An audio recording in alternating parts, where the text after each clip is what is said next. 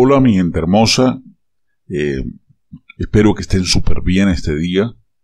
Quiero comenzar hablando de una fake news que se dio el día de ayer, 18 de febrero 2021.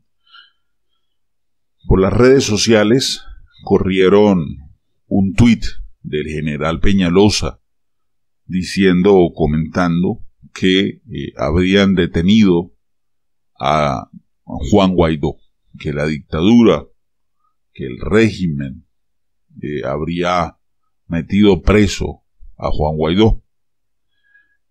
Y mucha gente me escribió y me hizo eh, preguntas. Es cierto, ahora esto sí, ¿qué vamos a hacer? ¿Qué va a pasar? Metieron a Guaidó preso. Y estas personas que me preguntaban ya estaban dando por sentado el hecho de que Juan Guaidó estuviera detenido. Todo porque lo había dicho supuestamente el general Peñalosa. Yo he revisado su, su cuenta de Twitter y no veo absolutamente nada. Eh, déjeme decirles que hacer un montaje de un tweet a alguien que maneja la, el Photoshop es totalmente fácil.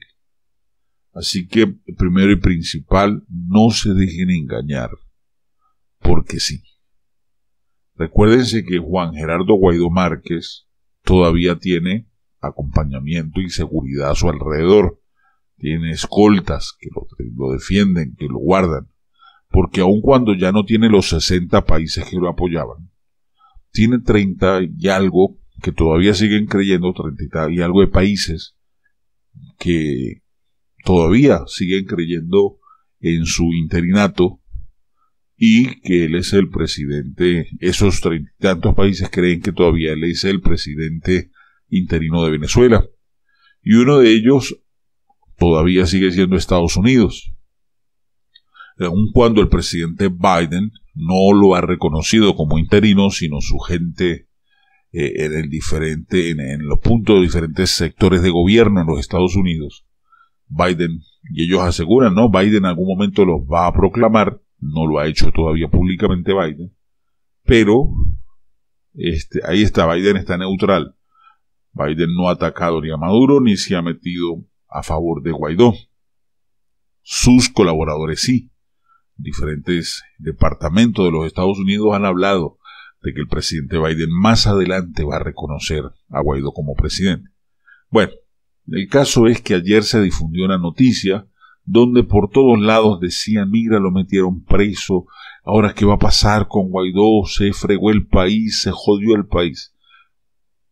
Si ustedes no se han dado cuenta, desde el 2019 hasta la fecha, Juan Guaidó no ha hecho absolutamente nada por libertar a Venezuela. Porque por la sencilla razón de que él, él tiene su propia agenda marcada. Yo en ocasiones digo, bueno, me gustaría que lo metiera preso. A mí en lo particular, por habernos engañado, por haber mandado a, la resistencia a la calle a hacer cosas que, que no respaldó, que prometió y nunca hizo, y con la frasecita de vamos bien, nos engañó a muchos. No figuró en, la, en el escenario de la confrontación libertaria. No figuró en el campo de batalla. No figuró más que para decir vamos bien. Bueno, cuando yo digo que me gustaría que lo metieran preso para ver qué va a pasar, para que de una vez por todas nos quitemos las zozobras, saber quién va a salir a la calle a defenderlo, saber qué van a hacer los militares, saber qué va a hacer la comunidad internacional, qué van a hacer los 30 países, qué va a hacer los Estados Unidos. Me gustaría saber qué va a pasar. Bueno, a Guaidó lo único que le interesaba hasta la fecha y siempre lo he dicho, y algo que no le gusta a los Guaidó lovers es que a Guaidó solamente le ha interesado saber qué pasa con la plata de Citgo, saber qué, plata, qué pasa con la plata de monómeros, saber qué reales va a llegar, ir a pedirle plata a todos los países para la ayuda humanitaria, eh, para las diferentes fundaciones, es lo único que ha hecho. Y es lo único que le interesa, pelear los reales. pero pelear por la vida de los seres humanos en Venezuela, por la estabilidad, no. Ahora, vamos a hablar en caso de que antes del 11 de marzo haya sido detenido Juan Guaidó. Porque todo el mundo piensa y le pone a dificultades a esto. Mire, en el escenario político y estratégico, yo creo que de darse una detención de Juan Guaidó sería por un solo motivo. No es callarlo, no. No sería mostrar prepotencia, como lo hizo Padrino López ayer amenazando a Colombia, hablando de, un posible conflicto internacional, porque eso fue lo que prácticamente hizo, palabras más, palabras menos, Padrino López. Si no lo has visto, te recomiendo que lo veas. Aquí en mi parrilla lo tengo. La situación o el escenario que yo veo, cuando mi esposa me comenta y me dice, ¿sabes que detuvieron a Guaidó? Están corriendo en las redes sociales un tuit de el general Peñalosa que acaba de advertir. Yo le dije, mira, eso, primero eso es imposible. ¿Por qué? Porque en estos momentos, o sea, no se ha dado ninguna información de preponderancia. Cuando eso ocurriera, de ocurrir, habrían videos, habrían evidencias, porque él siempre está rodeado de gente, siempre está rodeado de gente. Tiene escoltas, tiene que haber un enfrentamiento, tiene que haber algo para que puedan decir, mira, metimos a Guaidó preso el revuelo sería impresionante, porque vendrían las reacciones. Estados Unidos dijo, Biden dijo, eh, Trump dijo, o cada quien va a empezar a dar sus diferentes versiones. Pero el asunto aquí realmente es lo siguiente. Yo digo, de meter a Guaidó preso sería antes del 11 de marzo. ¿Por qué? Porque la única manera de tener a Guaidó preso sería con el fin de conseguir un canje de que el bobo de Cúcuta llame a Biden, cuadre con el pueblo venezolano y les diga, mire, yo les voy a soltar a Guaidó, pero ustedes me sueltan a Alex Alexa pisa Maiquetía, pone los pies en suelo venezolano y en ese mismo momento yo libero a Guaidó. Ese sería un escenario. Así es que yo creo que vendrían dadas las cosas. Porque de lo contrario, a fin político, yo no le veo ni pie ni cabeza. Porque es que, como le digo, ya Guaidó ya no, ya no, no, no, jala a nadie. De hecho, hizo la llamada que hizo a las marchas y realmente el respaldo fue paupérrimo. Ya nadie cree en Guaidó.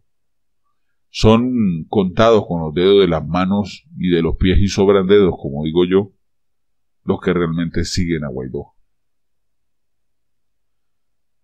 porque no ha hecho nada. El pueblo venezolano tiene mucho que reprocharle, de exigirle, tiene mucho que... No ha hecho nada, absolutamente nada. Entonces, por eso digo, a veces en ocasiones yo digo, dejarle lo metan preso, para ver qué va a pasar, a ver, a ver cuál va a ser el desenlace, a ver si cambiamos de escenario, a ver si una causa genera un efecto, si esta, una causa como esa genera un efecto en la gente, o simple, pasa lo que pasó con Leopoldo López. El día que lo detuvieron, yo pensé, cuando lo, detuvieron, yo fui uno de los que me moví y hice el llamado a salir a la calle a defenderlo. Y cuando lo detuvieron me di cuenta de que la gente quería en aquel entonces a Leopoldo López de boca para afuera. Porque llamé a varios a organizarnos para salir, para buscar la libertad de Leopoldo López, causar una confrontación en Caracas de tal manera que pudiéramos sacarlo de ramo verde. Y no. La mayoría de los líderes de resistencia dijeron, no, quedémonos tranquilos, vamos a esperar. no pasó nada. No se hizo nada. Y Leopoldo López se caló varios, varios años de cárcel. Hoy en día, después de ver cómo ha sido el movimiento político, ahora yo entiendo, no voy a mover un dedo por ningún político. Que se joda, como, como dice el refrán. ¿Por qué? Porque no no se lo merecen, no han hecho absolutamente nada. Bien, entonces quería aclararles a ustedes para que por favor no repitan mentiras, no se hagan ecos de fake news, porque no, todavía en este momento no ha pasado nada.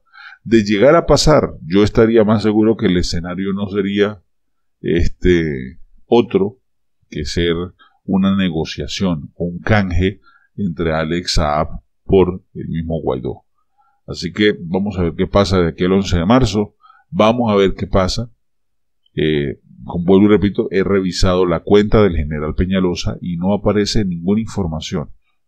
Puede ser que el general lo haya hecho y después se dio cuenta que no y lo borró, pero no aparece nada en ninguna, en ninguna página web, en ningún blog, no aparece ninguna web de noticias seria ninguna transmisión que haya dicho, mira, metieron a Guaidó preso y lo soltaron dos horas más tarde. No, no aparece ninguna noticia de esas. Si además, ustedes buscan, eh, está preso Guaidó, te va a llevar una página web que se llama wtcrradio.net, donde aclara y dice que es una fake news, de decir una falsa noticia que está corriendo desde el día de ayer. ¿sí? y que eh, supuestamente la noticia que se transmite del general Peñalosa tiene que ver con, o un audio que presentaron allí, si mal no recuerdo, tiene que ver con una, algo que pasó en el año 2019 cuando lo detuvieron. Recuerden que fue una, en la autopista Caracas-La Guaira que se armó el rollo y, y fue algo muy corto. De lo contrario, ¿sí? No, no, no ha, no ha pasado nada. Entonces, cuidémonos de, la, de las mentiras, de las credibilidades. Sabemos que a veces podemos equivocarnos y caer en ellas, pero no seamos sensacionalistas hasta no tener confirmado qué es lo que está pasando eh, realmente. Bien, la frase del día de hoy para ti es el hombre que mueve montañas empieza cargando pequeñas piedras. Esta frase filosófica nos habla de que todo aquel que quiera realmente ver una montaña movida debe trabajar, debe hacer algo en pro de que las cosas ocurran. No puede solo conformarse a que va a pasar, porque solamente tengo fe. No. No, no, así no funciona. Hay momentos en que la fe debe ser tan prioritaria para que ocurran los milagros. Pero hay momentos en que usted tiene que empezar a mover las piedras. Por ejemplo, si habláramos del caso de cuando el apóstol Pedro llegó cansado a la orilla y Jesús le dice, mira, eh, no pescaron nada, bueno, vamos mar adentro. Él dice, no, toda la noche estuvimos pescando y mar adentro durante el día, eso es ilógico, imagínate. Yo soy pescador de años. Eh, ya hicimos todo. Sin embargo, lo obedeció, fueron mar adentro y en ese momento metieron las redes y fue tanto que tuvieron que meter las redes, tuvieron que, que eso es lo mismo que cargar las pequeñas piedras, empezaron a trabajar un poquito más. Y dice que empezaron a saltar los peces hacia las redes de tal manera que casi hundían el barco y tuvieron que llamar a Juan, que estaba en otra barca, y a su hermano, para que entre los tres pudieran sacar la red y poder repartir el pescado para los tres. En fin, todo esto es evidencia de que sí se tiene que trabajar realmente cuando se tiene fe. Por eso también dice la misma escritura, la fe sin obras es muerta. Otro refrán popular del argot andino dice, eso es a Dios rogando y con el mazo dando. Entonces, quiere mover montañas, carga tus piedras, muévelas, sácalas, arráncalas del piso y comienza a hacer milagros porque yo creo que este 2021 va a ser un año de bendición para tu vida y para los tuyos. Un abrazo rompecostilla, un beso rompecachete, los quiero mucho, mil bendiciones y todavía no te has suscrito al canal, no olvides suscribirte. Dale clic a la campanita y seleccionar la opción Todos. Los invito a conocer la página web enfoqueglobaltv.com, un canal de noticias nuevo y hecho para ti. Enfoqueglobaltv.com. Dale, bendiciones.